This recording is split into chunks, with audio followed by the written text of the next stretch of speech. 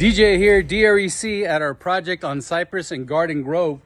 And we are now ready, well, we've been digging and trenching for all our underground utilities.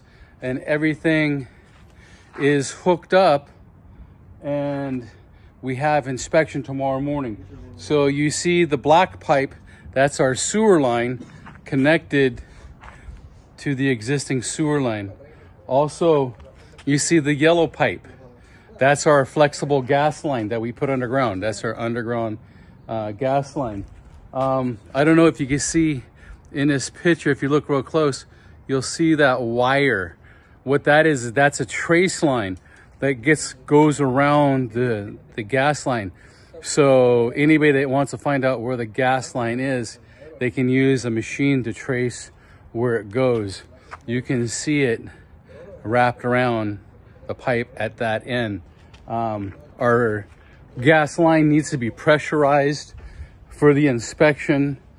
Uh, let me make sure that my boys did it. And yeah, we're, we're at 22 pounds.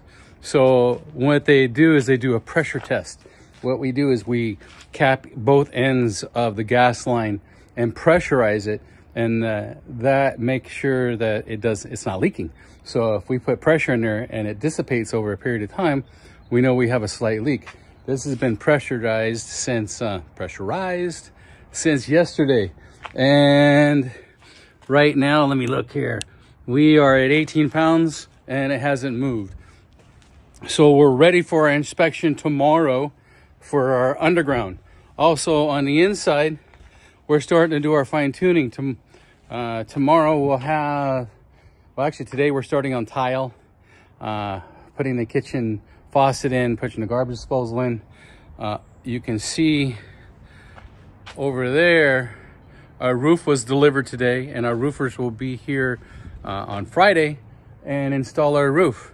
But this job is coming along. We'll be finished here in a couple weeks, which will be this investor client of ours is going to be very happy because now he'll have a triplex. His main residence, his ADU, and his junior ADU above the garage. So guys, again, thank you for subscribing.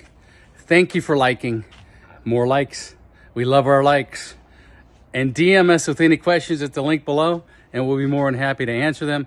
Or give us a call at 800 929 9812, and I'll answer any questions you have. Thank you.